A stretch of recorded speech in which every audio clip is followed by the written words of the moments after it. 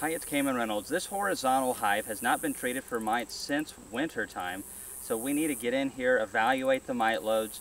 We're going to do that with an alcohol wash using a little bit of a different method today. This is an interesting device. I'll explain it more later. And we are going to also um, put the treatment in today. We'll be using Thymol, the Apiguard brand product. And we're also going to have to try to kind of change some things up because of the space gaps that we have in this horizontal hive to make sure the, the treatment's going to work good.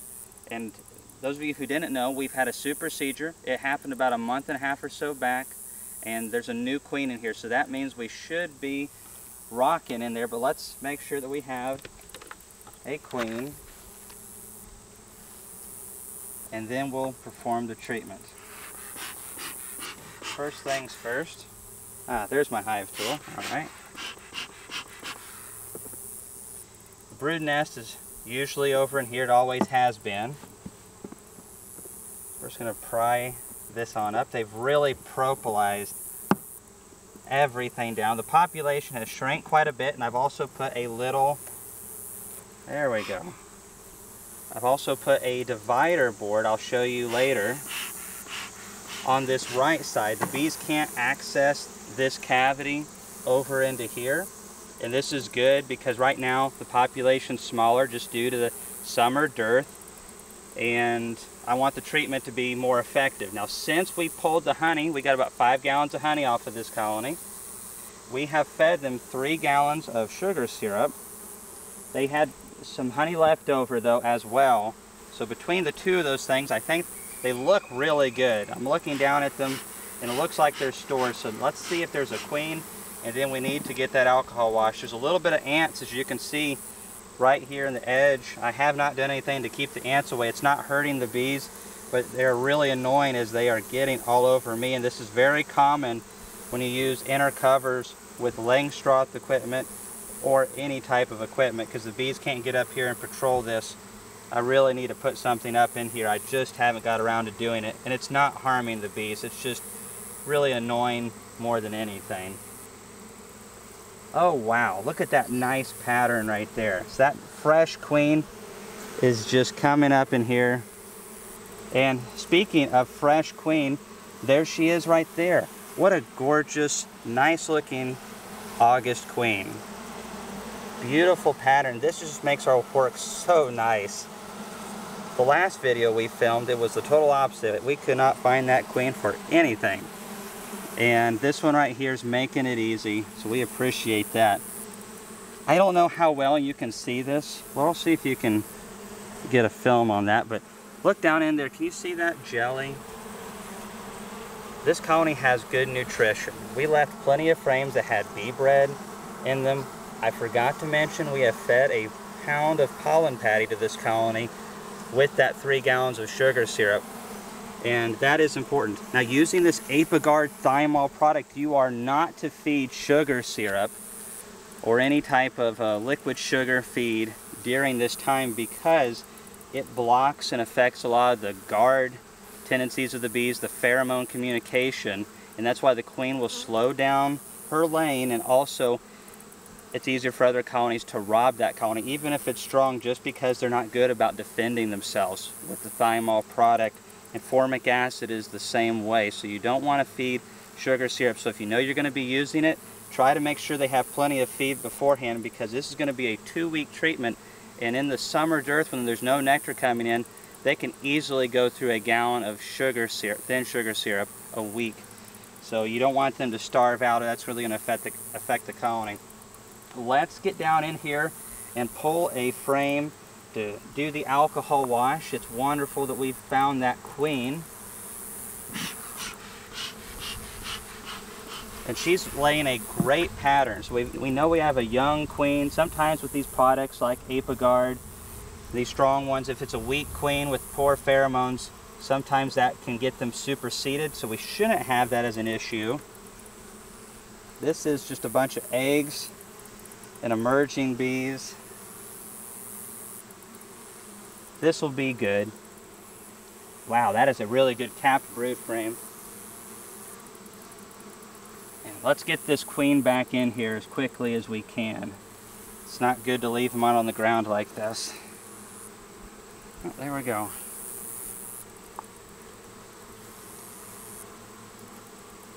That's great. I'm just going to check one more frame just because I want to see what she's doing.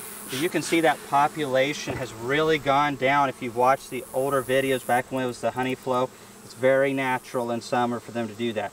The supersedure also really affected that as well. So you can see where we have it blocked off here with that board that came with this horizontal hive.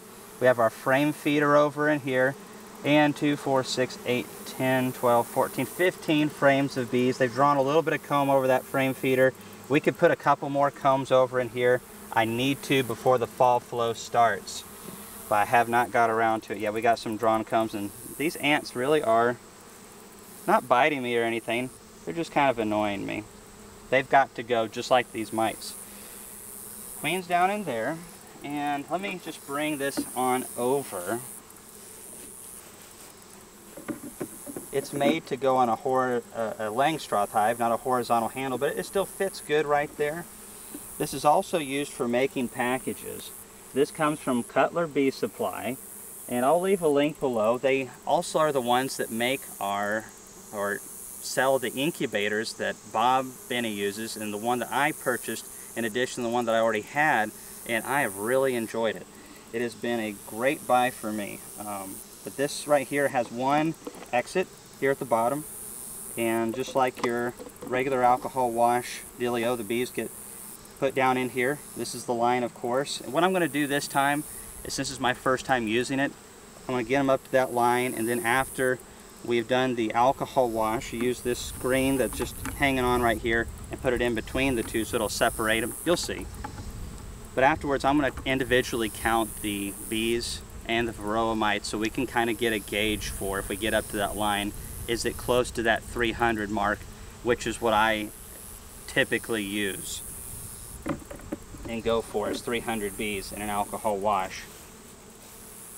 All right, got a little bit of shade and a little bit of breeze going. Look back in there, you can see that a purple ironweed and it's over in there. The bees get a white pollen from that and you can see the the buds that are just starting to yellow and that is the, the latter goldenrod that actually produces nectar. The early stuff that goes more horizontal with how it branches out doesn't do much. I know I'm getting sidetracked. Over here we have wing stem and you can just see these gorgeous wings on these plants and they produce a wonderful blossom. There's multiple varieties just like with uh, the goldenrod that produce good nectar and pollens for bees. So we've had plenty of rain. Look how tall that goldenrod is. It's going to be a good fall flow hopefully as long as we don't get rained out. Now I like this frame because there's emerging brood on it. There's also larvae on it. This is important when taking an alcohol wash. You don't have to have the emerging brood. This is about the perfect frame that I would want to get because with this frame, I know I have a lot of nurse bees because they have to take care of the larvae down in there that's being hand fed.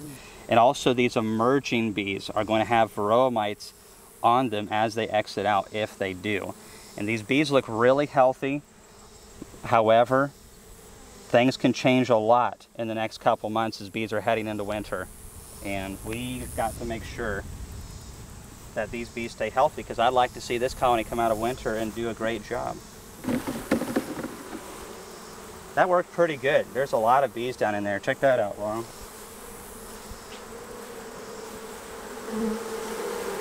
These bees are really nice and gentle for this uh, hot day.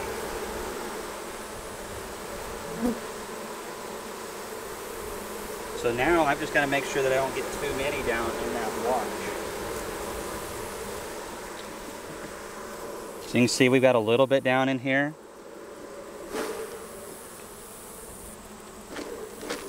So that's too much right there. Yeah, too much. That's about right, I'd say. Yeah, that's right. Now this is, you know, not perfect because you can't get the exact 300 bees every time. But we just need a rough estimate so we know around about uh, what our mite loads look like. This is very important. It's my least favorite part of beekeeping, but it is a very important part to see how many mites we have in a colony like this. So now we are going to take some alcohol. Some people are using Dawn dish soap and there's some other ways of doing it. I prefer 91%. You can recycle this and use it many, many times, but this kills the bees almost instantly. And that's what the reason I like it, is if I'm going to do this, I want to make sure that it's fast.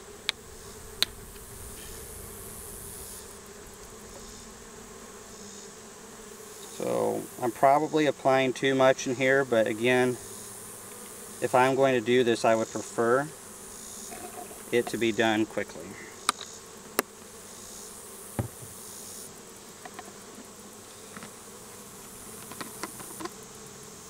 All right. And so we're just going to stir that around really good. And then that way it's going to kill them really quickly. And I don't think I got it on quite right. Yeah, there we go.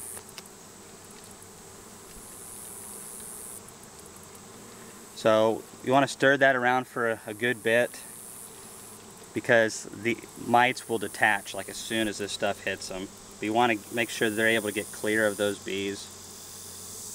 One thing that's different with this alcohol wash versus some of the others that I've used is typically you just have one chamber and so you but you have a inside that chamber you have a like a screen that the bees will get into and you swirl it around or shake it and the mites can fall to that outside bottom edge and on the inside the bees stay there. Well with this one it's a little bit different so I've added more alcohol to it than I normally would. Usually I just put enough in my easy check Varroa um, alcohol wash device and I just do enough for the bees. Well this one it needs more. Originally I was I just had it all flipped to this side and I was stirring it around. I only got one mite. Well then I started I put more in it and started shaking it up like this because the main thing is you want to get those mites away from it. Look at all the alcohol that's coming out on me though and I've tried to do it a couple different ways and I'm having issues with alcohol coming out and getting on my hands. Um, you want to wear gloves. Um, it's, you know, it's alcohol. It's not the end of the world. Um, but right now I've got one, two, three, four, five, and that's what I had earlier. You can see them all down right in there and then some wax flakes and some other stuff. That one might be a juvenile. No, that's just a piece of propolis. So there's five mites in there. And if this is 300 bees, then we're a little under 2%. We don't want anything above 1% going into winter if we want our bees to be in ideal conditions. Preferably lower than that because we are in August still. By September, this quantity of mites is going to double. And then October, our bees will still be brooding, and then it's going to double again. And October is when most beekeepers in Tennessee lose their bees. Or they, the colonies are so weak going into winter, even if they don't abscond from viruses, they're just not going to either make it through winter or they're going to come out so weak you're not going to be able to hardly do anything with them anyways. And the queen could be compromised. So I'm just going to shake this just a little bit more. Just trying to separate those mites out away from those bees. And I'm going to assume that I've missed one at least and I've done this several times now. We're still getting five. That's still too high, so we're going to put a treatment in here. And this is a treatment that we've used for many years. And it is Apiguard Thymol. Now, one of the things when you use this product, it does have several instructions that are, it's temperature sensitive, so you don't want to use all of it if the temperature's too hot. And also, you need to have some room above the bees. They need to be able to get into this tray. All I have is this space on the top bar, and then when I put this inner cover back on, that doesn't give me a lot of space for the bees to get up in here and move it out. We want them to pull these crystals out and move it around the colony. We also want to center over the brood area. So there you can see the thymol. It's in a gel matrix and this is 50 grams. Now you can do three treatments of like 33 grams instead if the temperature is really hot. It is pushing that hot temperature, but I'm going to do two rounds of 50 grams, and then we'll come back and do an alcohol wash after the treatment's over, and we'll see how that goes. However, with this treat, this uh, whole tannin treatment in there, and that right there, they're not going to be able to get up into that, and it won't be near as effective. So I have created my own delivery, and um, it, I'm going to use this card right here and scrape it off onto it. So excuse me, bees, excuse me, bees.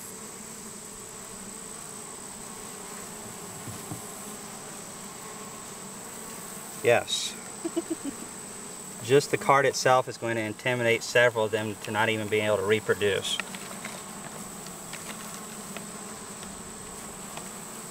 They'll have to find a safe place somewhere in the hive. They just don't make mites like they used to. So I'm scraping all this out and the bees are already starting to move away from it, which is pretty normal. But we need them to be able to access that pile. And I'm just kind of scraping the rest of this out of here. And don't get it on your fingers. It'll burn. So be really careful. It's best to use gloves if you're going to handle it like this. Now you can use a syringe. Most of the time we use the tub, but I had some of these left and it's still within the expiration date. Make sure you store this in a cool environment, room temperature, that kind of stuff, because otherwise the thymol will separate from the gel and it'll off gas faster. You definitely don't want to use it past the expiration. A lot of these products, once they come loose again, they can off gas a lot faster and cause damage to your bees. So the rest of these crystals, I'm just going to go ahead and just kind of stick down in there. It won't hurt anything. They'll just track that around. So we have a little, I'm just going to go ahead and say a 2% infestation. I'm going to take these bees inside. It killed those bees. They stopped moving within seconds of that alcohol. Don't like doing it. But it does help us know what's going on and I really believe had if we did not treat this colony, it may have survived the winter, but there's no way it would be a nice honey production colony like we hope to show you next year. We've got a great queen in there now for the dead mites, and we've got some good nutrition on the way with all these beautiful plants. So I'm going to leave links down below where you can see about this. I'm anxious to try this out in the spring, shake some packages. I'm a little uh, disappointed with how much alcohol leaks out of this thing because it is quite a bit, and I've tried several times to get it to hold in there better. I'm sure there's some stuff that probably can be uh, you know Teflon in there, but no one's got time for that. I definitely don't. Um, but it has potential. I definitely um, like this little device right here. So anyways, I'm going to leave the links down below if you'd like to check those out. And we will come back, treat this again in seven days because you need to do this twice with the 50 grams. And then we'll do an alcohol wash follow-up and hopefully we won't see any of these mites in here and we'll see still some good rebounding brood patterns after the thymol is done because it will slow the queen down. And with this nutrition coming in, they'll go into winter in this nice uh, insulated hive and come out ready to make a big honey crop next year. Thanks for watching this video. If you have any questions, leave them below.